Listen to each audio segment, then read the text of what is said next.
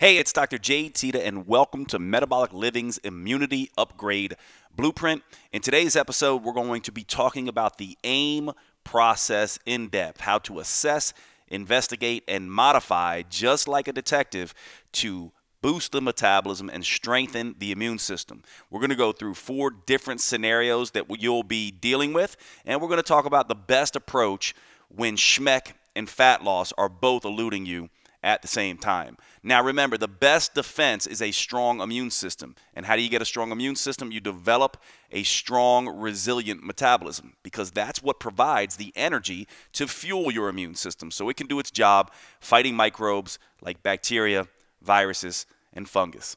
All right, let's get into the lecture today. We're going to be talking about the AIM process assess, investigate, and modify. So, if you'll remember, we talked about this idea that when you go on a program, when you're trying to change your body, you're going to have two things that you're going to be assessing SHMEC, which is an acronym for sleep, hunger, mood, energy, and cravings, and body change. Did you lose fat, stay the same, or gain fat?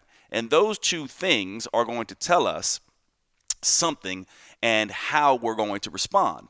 And so, in the end, what we want is we want both, right? We want Schmeck in check and we want fat loss. So, in this first scenario, that's what we get our biofeedback sensations sleep, hunger, mood, energy, and craving. Schmeck is in check, meaning all those things are balanced and under control. Plus, we're losing fat. So, what do we do? We've assessed what happened. Now we need to sort of in- investigate and then we modify. So, what do we do here? Well, we do nothing, and this is absolutely critical to understand. The metabolism is an adaptive, changeable, and creative sort of system. It does not stay the same. It is not static. And so this is a very elusive place for the metabolism. It's sort of the Goldilocks zone. We've got hormonal metabolic balance and we've got calorie reduction. We know we have the hormone balance because Schmeck is in check, and we know we've achieved a calorie deficit because we've lost fat. We do not want to do anything at this point. Oftentimes, people will try to push harder or do something different and push them right out of the, this state that we want them in. And so in this scenario, you do nothing. You ride it for as long as possible.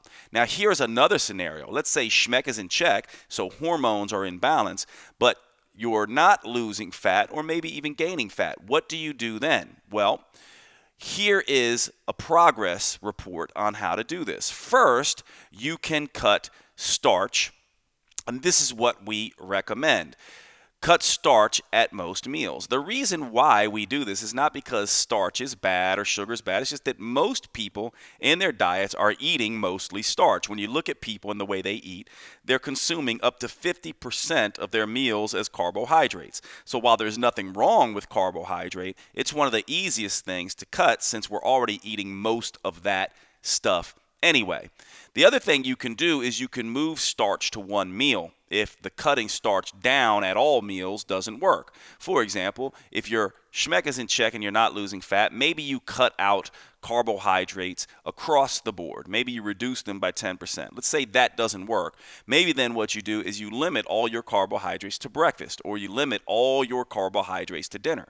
Now, what we're doing here is not magic, it's just a tricky way to reduce the amount you consume. If you're used to consuming 200 grams of carbohydrate a day, it's very likely you've been consuming those over several meals. You would be very unlikely to be able to eat that much at just one meal. So you can see that this is just a little tricky way of really cutting down calories. Now, if the starch changes don't work, remember, we always want to see what your body thrives best with. Is it more starch driven or is it more fat driven? So if the starch doesn't work, those changes, you can cut back on fat. Again, cutting starch and fat, these are the main sources of calories in most people's diets. You also could begin to eat less frequently. You can search for trigger foods, and by trigger foods, what we mean is foods that when you eat them cause you to eat much more. Or, and you can start to monitor calories and macronutrients very closely by using something like MyFitnessPal or some kind of tracking mechanism. The important thing to remember here is that the most important aspect of this is to get your hormones in balance, get your schmeck in check. Make it so sleep, hunger, mood, energy, and cravings are supporting you. Your metabolism, your immune system is in a place of strength. And then you can begin to push on it. And the truth is, here, we presented this in a one, two, three, four, five, six step process. But the truth is, remember what we talked about the Bruce Lee effect absorb what is useful, discard what is not, and always bring with you what is uniquely your own. So you may already know that you do better on fat or carbohydrates, or you may already know that you, when you count calories and start watching macronutrient intake, things figure themselves out for you. So feel free to jump through these steps as you would like. But the point here is there are many things you can do here. When your hormones are in a place of balance, when Schmeck is in check, it makes it easier to push on the metabolism and the immune system to get the results you want. Now, what if Schmeck is not in check, but you're also losing fat? This is a very tricky place to be. This is the dieter, right? Dieters oftentimes experience this. They might be losing some weight, but their sleep, their hunger, their mood, their energy, and cravings are out of check. And this is a very tenuous place to be. This is the yo yo dieter's trap. When you're in this place, you may achieve short term results, but we can guarantee they will not last long. And 95% of people who try to do this end up failing, 66% end up fatter. So you do not want to be here. You want to do everything you can to get schmeck in check. This is where that five step process we've talked about in other lectures comes into play. The best way to get Schmeck in check first is to add protein, fiber, and water. Lean protein sources, lots of vegetables. If you're not a meat eater, then make it more vegetables. If you are a meat eater, make it more vegetables and lean protein animal sources.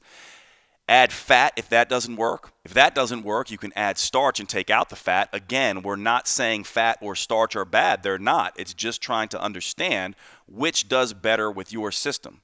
And if that doesn't work, and you add starch and fat, or you can add some snacks. And again, as you get used to this, you can skip through these steps. The point to understand here is that Schmeck must be in check. Otherwise, any results are not going to last or be a disaster and reverse on you. And finally, what happens if Schmeck's not in check and there's no loss or you're actually gaining fat? This is also typical of the couch potato. And so the person who just sits around and does nothing and eats everything they want.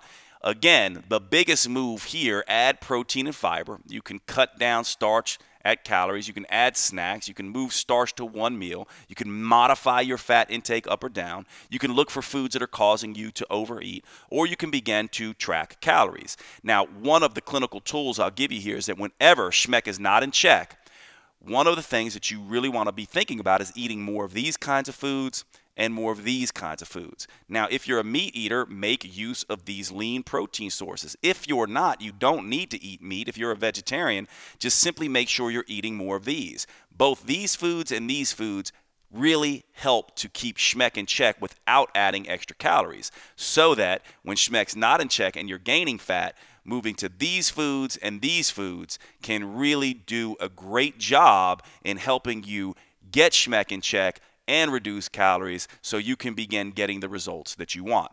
All right, the key takeaways here. Remember, there's four different scenarios that we went through, and we've given you some ideas of how to look at these scenarios and to adjust.